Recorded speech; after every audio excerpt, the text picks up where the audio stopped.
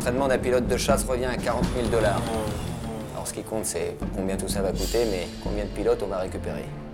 Your paper. Your advice. Come on, guy, hurry up. Come. L'opération s'appelle Opération Bonaparte. Il aura lieu en Bretagne, dans les côtes du Nord. Nous allons avoir besoin de personnes de confiance. Est-ce que vous êtes prête à vous investir un peu plus? On a besoin d'agents de liaison qui fassent office de convoyeurs. Ça implique de cacher des armes, des postes émetteurs, et héberger des résistants ainsi que des aviateurs anglais avant leur embarquement. Vous pouvez compter sur moi. Mais si vous avez un petit ami, vaut mieux faire une grande pause. Je vous dis ça, c'est pour sa sécurité et la nôtre. Ça te gêne qu'on nous voit ensemble?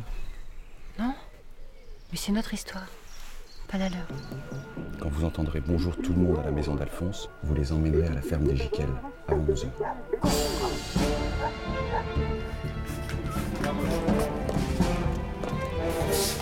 La patrouille est passée. Vous pouvez y aller.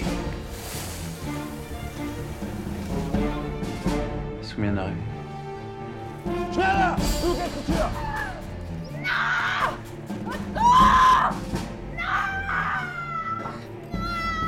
Les ordres sont de quitter les points de rendez-vous au bout de 10 minutes. S'il y a du retard, ça veut dire qu'il y a un problème. Et vous mettez les autres en danger. Nous cherchons des terroristes. Mademoiselle de Calves.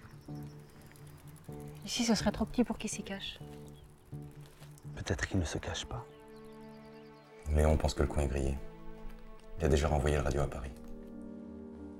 Tu veux plus me voir parce que tu préfères te faire du boche Mademoiselle Je m'appelle Marie-Thérèse Le Calvé. J'habite Ploua. Et c'est mon histoire que je vais vous raconter.